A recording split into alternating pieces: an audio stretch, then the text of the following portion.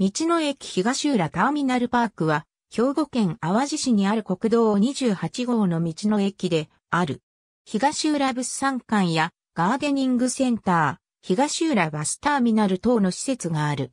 名称はバスターミナルに由来する。本市海峡バスと西日本 JR バスの社員が配置されており、乗車券を発行している。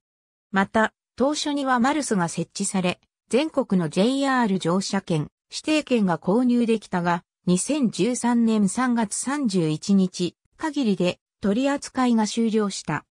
2013年7月1日よりエディ号の乗車券を発売開始したが、2021年3月16日以降、休止路線となったため、発売を取りやめている。また、パークライド用駐車場が上記の駐車場とは別に有料で用意されている。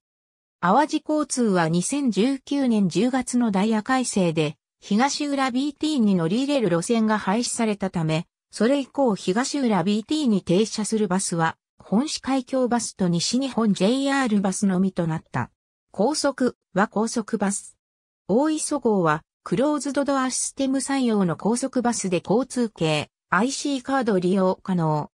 神戸淡路鳴門自動車道の本線上にある東浦、インターチェンジに併設する東浦バスストップとは 2km 弱離れている。ありがとうございます。